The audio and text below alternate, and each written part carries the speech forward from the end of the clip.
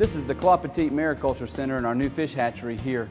Uh, it's a 23,000 square foot hatchery where we're raising currently red drum and pompano. We have two pipelines here. One pipeline runs to the Gulf State Park Pier and brings in high salinity salt water, and then we have a pipeline that runs to the Intercoastal Waterway to bring in lower salinity salt water. And we can use those and mix those and do different things in order for us to raise fish of all different types here at the hatchery. In our hatchery here, we're really set up to do all the life stages of the fish. We have the broodstock tanks where we keep the, the broodstock fish, the mom and daddy fish, uh, where we get the eggs from those, and then we raise those up to a certain level and then we move those into some of our bigger tanks. And then when they get to a certain size, we move them out to our ponds. Uh, we have 35 ponds here on the Claude Peteet Mariculture Center where we can raise the fish in the ponds, and then from there, we'll move them to the open waters for the restocking. Here at Claude Peteet, we, uh, we grow algae, which is uh, fed to the rotifers, which is grown as a food for uh, the first feeding of our larval fish. Um, once the yolk sac is absorbed, from uh, newly hatched uh, fish. They need a, a, live prey, and due to the size of their mouth, their gape, uh, the rotifers fit that bill, and we grow those internally uh, to provide as a first feed.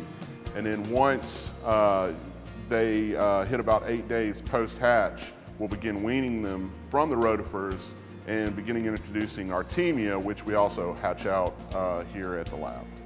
The Claude Peteet Mariculture Center really is famous because it's the first place in the world where red snapper were raised in a hatchery. Uh, back in the 90s, we were able to, to get them from eggs through their life stage uh, to the point where they could be raised here and then released in the wild. Our old hatchery became unusable after 30 or more years in service with the salt water, and so we're happy to construct this new hatchery to continue the work and really expand what we were able to do in the past. One way that we were able to, to make this hatchery successful is in, in our broodstock tanks, we can lower and raise the temperature and lower and raise the lights to make the fish think that it's a different season. So we can get the fish to spawn two times or more a year, uh, which really doubles our capacity. And then having the larger tanks inside allow us to overwinter fish here in the hatchery so we're able to operate year round and really produce a lot of fish here. When we're at full production, you know, we hope to be raising millions of red drum and pompano and then expand to flounder and some other species and really make a big difference and a big impact in the fisheries in Alabama.